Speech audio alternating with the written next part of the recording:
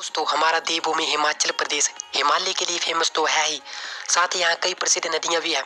सबसे important river है ब्यास, जो हिमाचल में रोहतांग पास के नज़दीक ब्यास कुंड से निकलती है।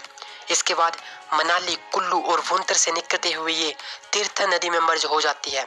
फिर पंडो से होते हुए ये मंडी में पहुँचती है और कांगड़ा डिस्ट्रिक्ट में इस पर बना है पोंग डैम जिसे महाराणा प्रताप सागर डैम भी कहते हैं। इसके बाद पंजाब में एंटर करती है और हरी के वैरेज में सतलुज नदी में मर्ज हो जाती है।